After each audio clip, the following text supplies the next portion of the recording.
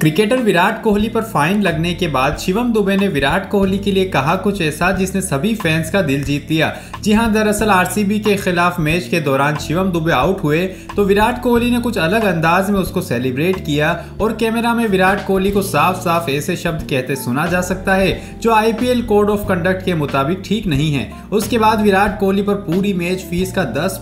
fine लगाया गया इस पर शिवम दुबे ने कहा कि ऐसी कोई बात नहीं है विराट भाई और मैं अच्छे दोस्त दोस्त हैं मैच के दौरान तो सभी के इमोशंस हाई रहते हैं लेकिन मैं आर के साथ बिताए पलों को नहीं भूल सकता और विराट कोहली के लिए बहुत रेस्पेक्ट है आप इस पर क्या सोचते हैं कॉमेंट बॉक्स में ज़रूर लिखिए